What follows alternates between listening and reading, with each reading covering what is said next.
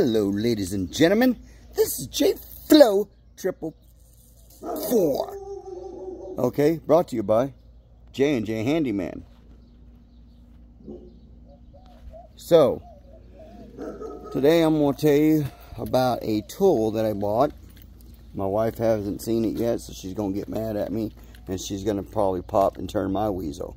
So this right here is the Weasel Weed Popper. Step and twist. So I just wanted to show you guys how this works.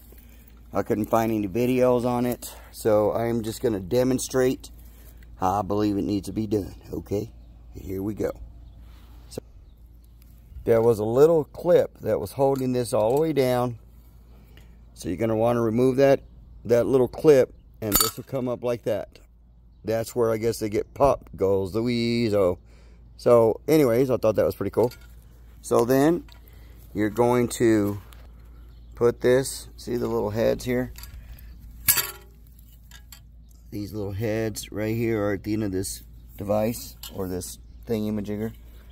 So you're gonna wanna go right dead center of the weed you're trying to get. Then you get your right foot, left foot, whatever you are, push down on it. Then you're going to twist it like so. I don't think that gets the roots very good, but it is what it is. You pull out, there's your weed, and then you press this little thingy-majigger downward, and there it is. So let's see how good this did. Anyways, yeah, I got some of the root not too well. But anyways, that's how you work it. And like this video, please give me a thumbs up. If you don't like this video, then by all means, just tell me why you don't like it. Put it in the comments below and say, hey, J Flow Triple Four, I don't like the way you're eliminating the weeds from our economy. I mean, not our economy, from our, our earth. Okay? Okay? I'm sorry.